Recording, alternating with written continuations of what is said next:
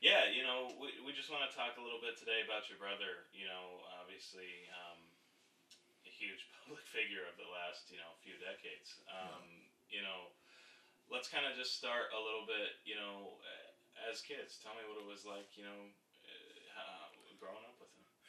Uh, you know, in in a real way, I didn't grow up with my brother. I mean, we were in the house together, but he was uh, almost ten years older than me. So by the time I came around, he was out on the street. You know, uh, and in Brooklyn in those days, you were literally on the street. So maybe maybe a little later than ten, but uh, and he was a rough kid. And he he had I have another brother who is seven years older than me, and so the two of them kind of palled around together. And now we were in the house and we fought regularly, and uh, it became very apparent to me, especially in my teens, that we were very different people. Uh, our interests were very different. Of course, he had a whole network of friends. Maybe I would have turned out differently had we been similar in age. But I remember going to my mother once and saying, uh, "You can tell me, am I adopted?" Because I thought, you know, it just uh, was so different. I was interested in books and religion and things like that, and he was out on the street scrapping with people and got himself in a lot of trouble over the years, but then eventually would turn around. Yeah, absolutely. I have to say that I always knew his affection and love uh, for our family and for me. Yeah, you know, obviously, even as a kid out and you know running around on the street, you, you could at least you know he, he still you know kept his family close to him. Oh, ve- very much so, and um, had a great love for my father and, and my mother. Um, and it, it didn't hurt to have a brother like that when the bullies uh, at the school would pick on you because he'd take care of it like that. yeah, I can only imagine. Um, so you know, going forward, I know uh, uh, you know before he got into the um, you know the, the acting and Hollywood and all that, um, he, he got himself into a little bit of, like you mentioned, a little bit of legal trouble. he, he did uh, quite a bit. Uh, I, I can't say that I was aware of it at all times, uh, although I did uh, go to the court for the sentencing. I remember doing that.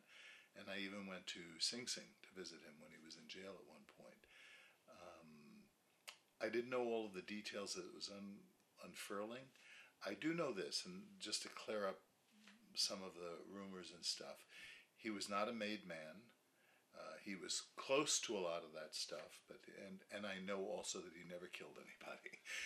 he, you know, that those are the rumors that, that, that our family was somehow associated with crime families. It, it just wasn't true. Uh, he was around a lot of it, uh, as most Italian Americans of that era would have been. Um, and then as a kid, I was protected from a lot of the, the details of what was going on. Yeah, of course. Yeah. Um, so yeah, you know, you know, uh, obviously around the, the these families and, and things, but not you know not a made man, not not at the top. You know, Right. not, not Certainly actually- not at the top. Yeah, no, but not not like you know you know right hand man or any of that No. kind of stuff. You No. Okay. Not at all. He was Yeah. pretty, pretty low level. Yeah. So, um, when did you become aware of you know his his desire to get into acting at all? Uh, shortly after he came out of prison, uh, I heard about that, and um, if I remember the chronology right, I was living in Los Angeles at the time. I was in college at the University of Southern California, and he came out there for a while because his uh, acting teacher was there, who's a, an actor in his own right, whose name slips me. And I remember spending an afternoon in the backyard while they were talking and stuff um, and went to some Hollywood parties that were there. It was really fun to meet these. It's a whole different kind of social environment that I, I would be used to. Um, and so I saw him beginning to, to try and get into it. And then we would hear about a commercial or a, a, piece on Starsky and Hutch. Or then there was a film that came out called Fingers, which I have to say was a horrible film in my estimation, where he plays some kind of thug again who gets killed and shot in the in the head at the end of the movie.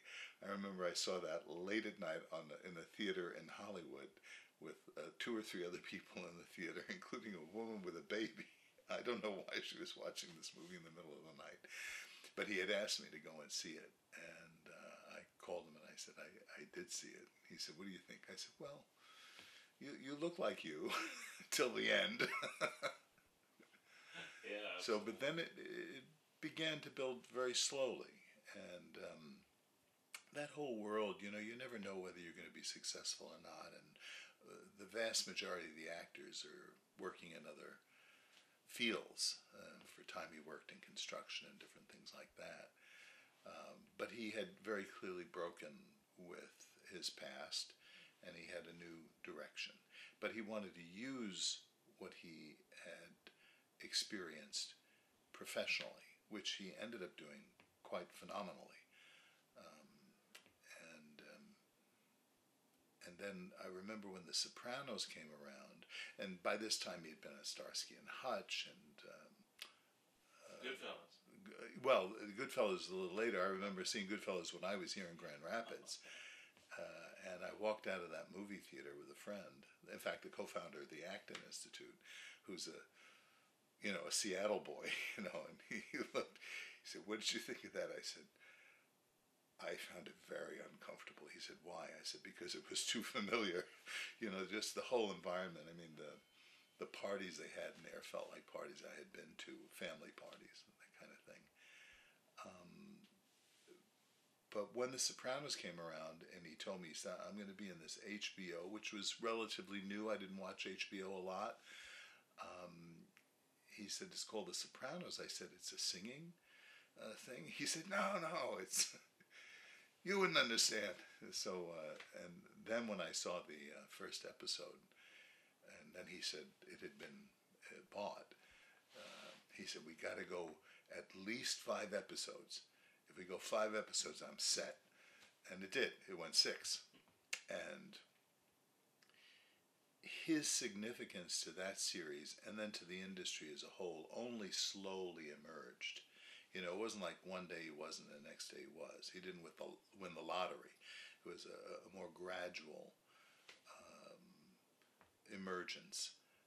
And then at the funeral, I mean, and the responses to to his death really confirmed his place really in, in film history.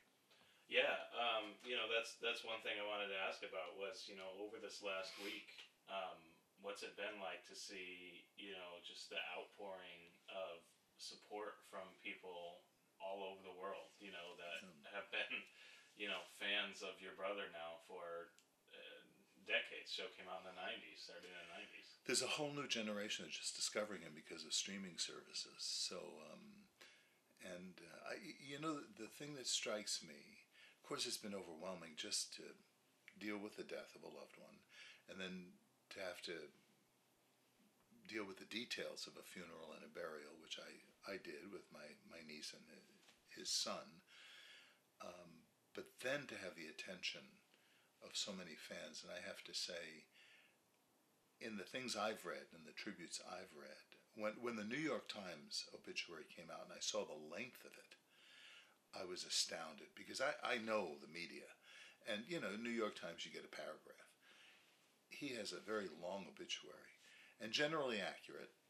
there's there's some inaccuracies there, but the thing that strikes me is that there I have not seen a single negative thing about him in all of the comments on all of the blogs and the websites and my own uh, Facebook posting has over 3,000 uh, you know comments and likes and stuff like that. And then the emails people have been very kind. And I know well enough the public that people get snarky especially online when they're invisible. And I just haven't seen it. Yeah um, you know growing up uh, obviously uh, with him in, in family and and you know seeing him out and and doing these things, maybe getting in trouble, that kind of stuff. I, I have to imagine you probably never thought he'd have the impact on so many people as as he has now. Yeah, th- there was something my mother used to say about um, why the bread in Brooklyn's so good. She she would always say it's it's the water.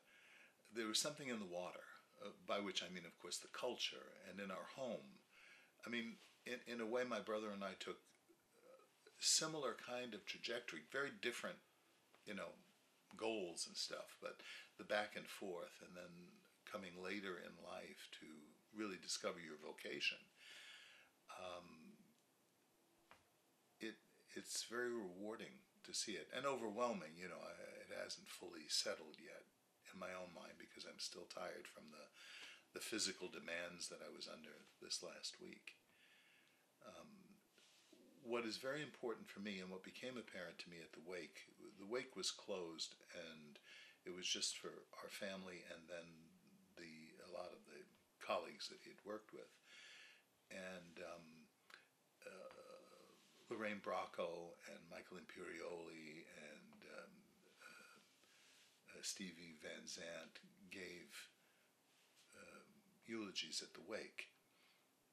And as I listened to the eulogies, the, what became very apparent to me through their eyes was, was what I saw theologically as a priest, namely a guy who has um, a hard exterior and a soft interior. I likened it to a, a loaf of Italian bread. Uh, and I think that soft interior is what made it possible for him at the end to go to confession and to receive absolution, which for me as a priest was the most important thing, not just fame and the money and all of that. And he did. Uh, just a few weeks ago, I heard his confession and absolved him. So I felt that the whole Mass that we celebrated had such integrity. Oh, that's uh, that's that's very cool. I Yeah. can only imagine, you know, especially Yeah. for you. You know, It was a great be- comfort to his family, you know. Absolutely. Oh, of course. Um, so uh, when it comes to you know his character in the show, um, how far out, how, how much was he really acting, and how much was that really just uh, you know Tony?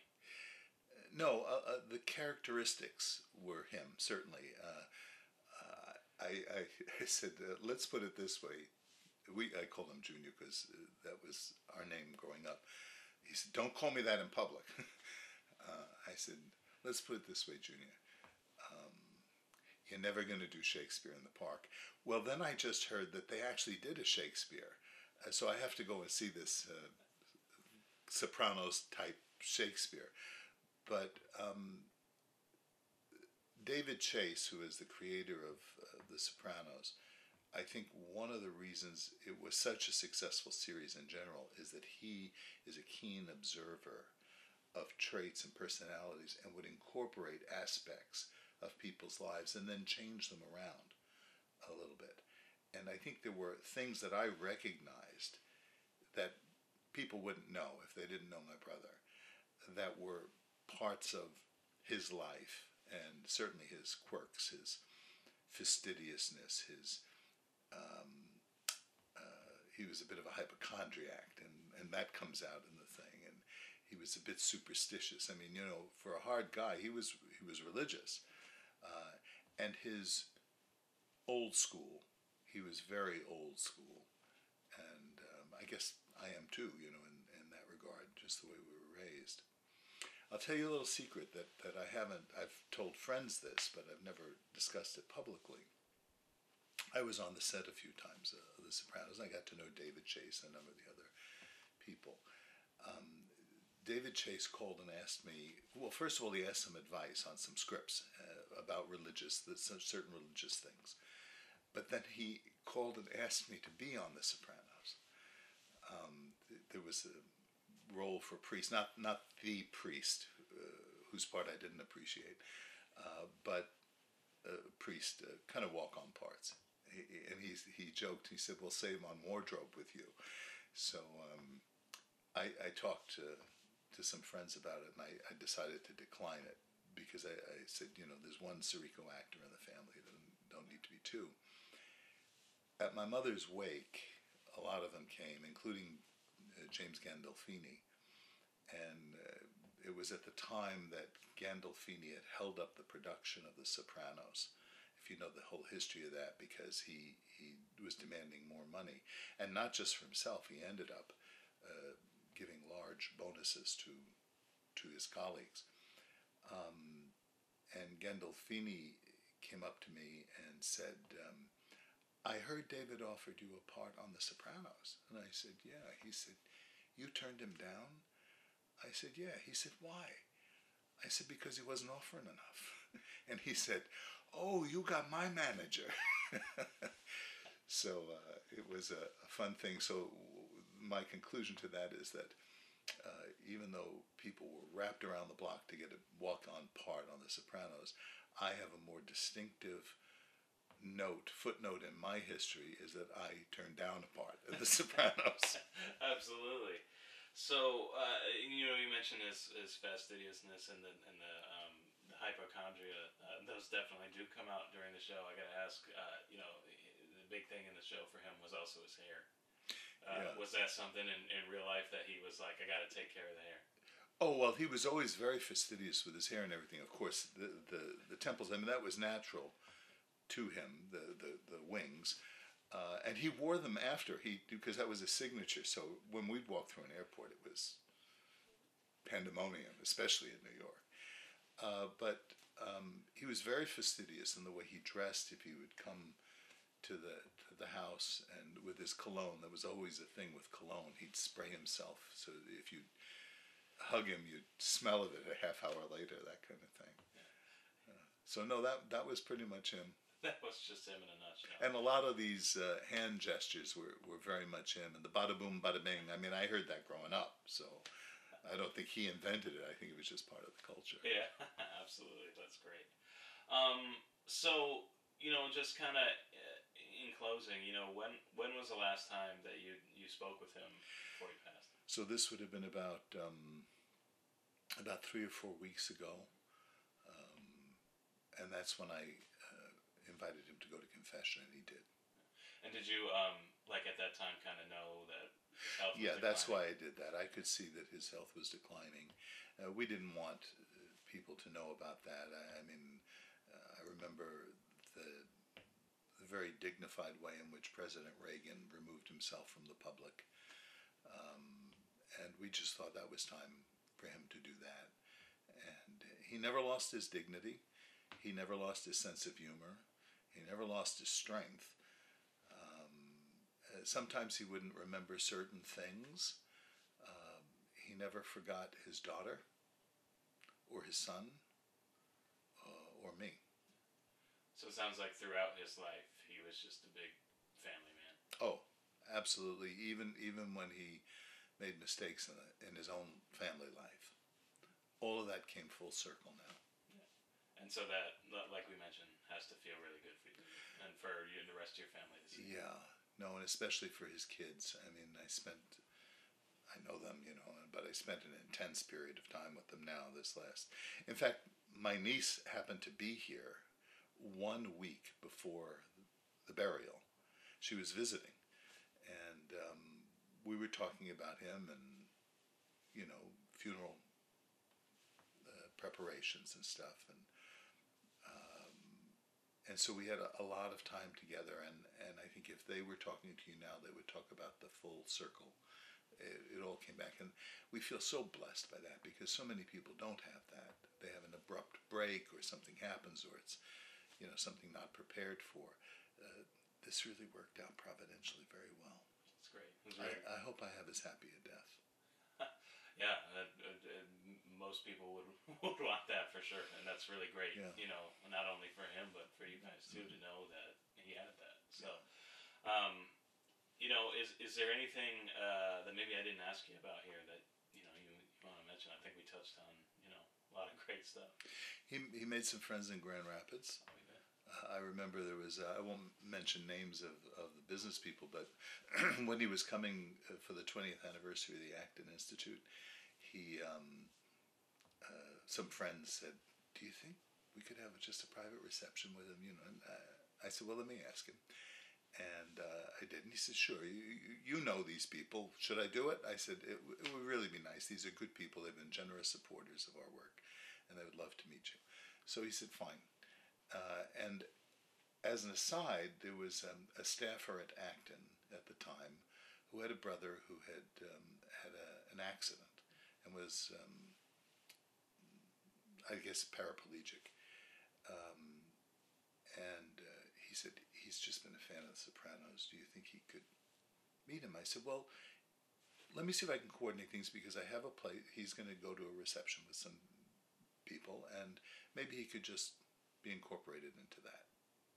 And so I, and that's what happened. And he was there in the wheelchair, and all of these, if I mention the names of the Grand Rapid elite who were there, they were all there, and they were very anxious to meet him. Great wine. My brother drank god awful wine all of his life until that night, and he discovered good wine that night.